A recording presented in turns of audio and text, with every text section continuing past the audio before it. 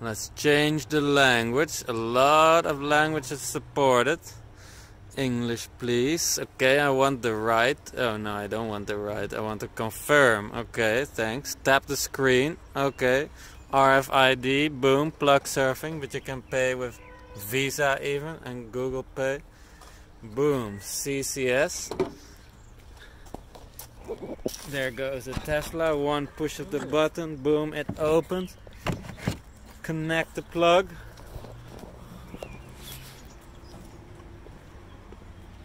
Four percent in the battery. I don't think it's super hot, but let's see what happens. Look at this great, great setup. CHAdeMO and CCS. No AC charging here. Sorry for the old school Zoe drivers. But uh, time to move up.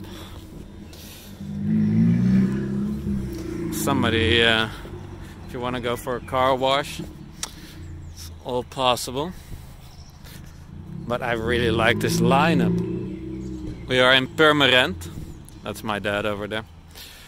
At the Shell station, hello obviously no roof here. The luxury of a roof is still something for the Total and Fastned. Thank you, Fastned.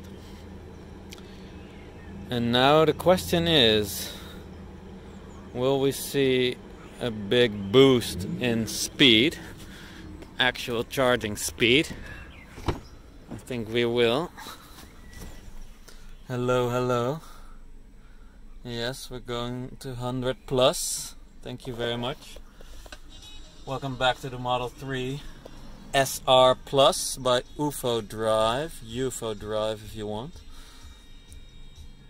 Music starts playing again. I'm sorry about that. Let's pause it.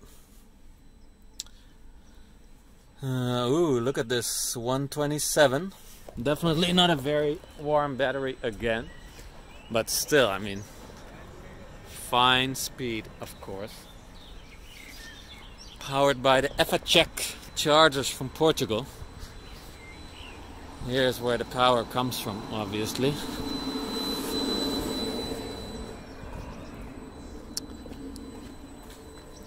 HV HV160 again.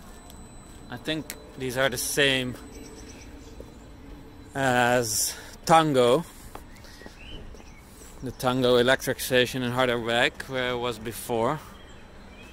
Well, fine charging speed for a battery that's not really hot because I couldn't do any speeding because it's before 7 p.m. and then the rules say in the Netherlands you can only do 100 kilometers per hour nowadays. Thank you, uh, environmental rules. And on the way back home, we can go full speed again.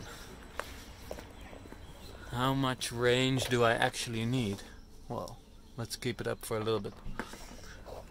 I'll check back with you later, but uh, 130 kilowatts is a good speed. Thank you Allego and Shell Recharge and Plugsurfing for the charging card. See you later.